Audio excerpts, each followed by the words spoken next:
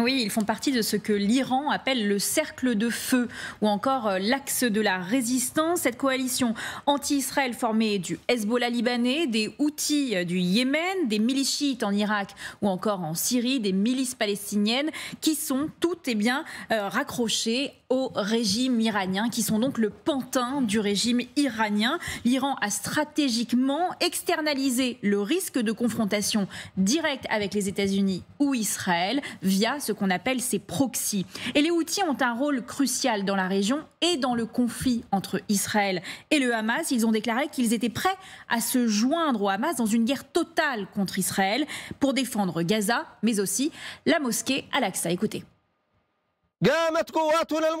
Nos forces armées ont lancé une salve de missiles balistiques et guidés, ainsi qu'un grand nombre de drones sur diverses cibles de l'ennemi israélien dans les territoires occupés.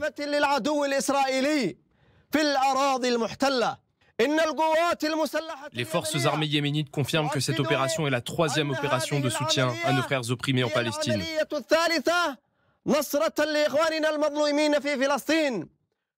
Elle affirme également qu'elles continueront à mener des attaques de missiles et de drones jusqu'à ce que l'agression israélienne s'arrête.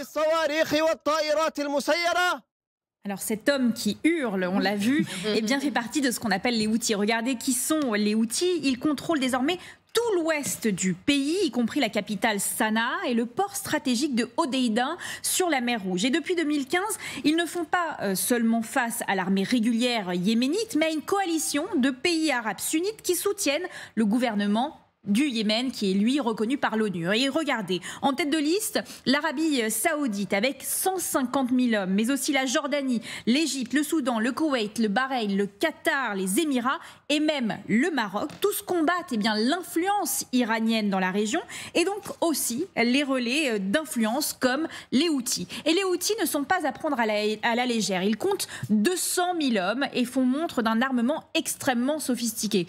C'est à prendre en compte quand on sait que le Hezbollah par contre, n'a que 100 000 hommes, par exemple. Des drones, des lance-roquettes, des missiles balistiques, des missiles de longue portée capables même de frapper Israël, des missiles anti-navires et même un arsenal de défense antiaérienne pour frapper leur propre territoire. Regardez d'ailleurs en février dernier, les forces spéciales françaises, avec l'aide des Alliés, ont arrêté une cargaison d'armes iraniennes envoyées aux Houthis le long des côtes yéménites. Et regardez aussi ce que disait à ce sujet le commandant américain en charge des opérations Tim Hawkins au cours des deux derniers mois seulement nous et nos partenaires avons empêché plus de 5000 armes et 1,6 million de cartouches d'atteindre le Yémen. Et tout ça s'est rendu possible grâce à un impressionnant réseau de contrebande qui les aide aussi à produire des armes localement. Par exemple, l'homme politique yéménite Fares Mohamed Mana, aujourd'hui ministre dans le gouvernement des Houthis, est un trafiquant d'armes notoires qui avait fait l'objet de plusieurs condamnations par des instances internationales pour trafic d'armes avec la Somalie pour éviter les sanctions, eh ils importent simplement des composants qui ne sont pas sujets à l'embargo de l'ONU. Puis, sur place, des conseillers techniques et militaires les aident à faire l'assemblage pour des armes artisanales. Et tout ça se déroule via ces routes. Regardez tout d'abord les voies terrestres depuis l'Iran puis via Oman, par les voies maritimes avec le port d'Aden, mais aussi par le détroit de Bab el-Mandeb, que vous voyez juste ici sur cette carte, entre le Yémen et Djibouti, qui est encerclé d'un petit point rouge.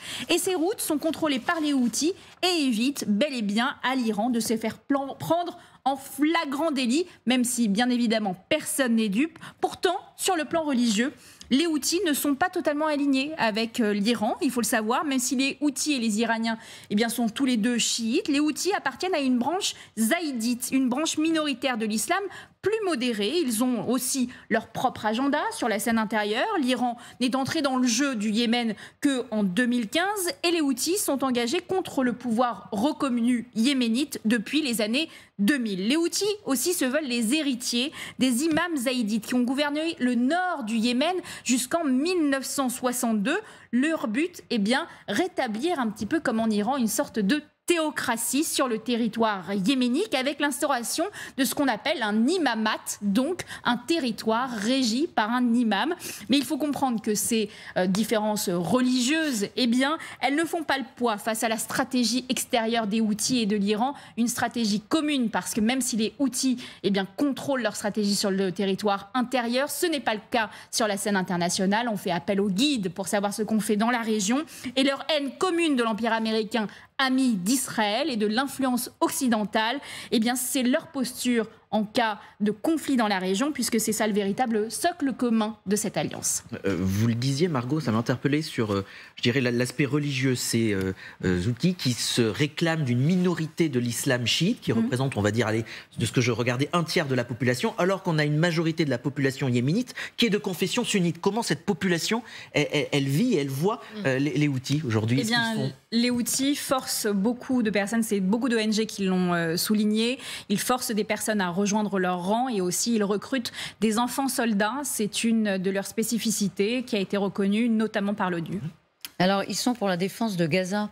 Ils sont pour la destruction d'Israël, à proprement parler, comme le Hamas. Oui, c'est la même ligne éditoriale. La même ligne. La même ligne éditoriale. Et eh bah, chacun, euh, nous, on a des lignes éditoriales, mais la même ligne directrice. La même doctrine. La même doctrine. Bon, ligne éditoriale, c'est pas mal aussi, non? Peut-être qu'ils écrivent des éditos parfois, de temps en temps. En tout cas, c'était passionnant. Merci, Margot.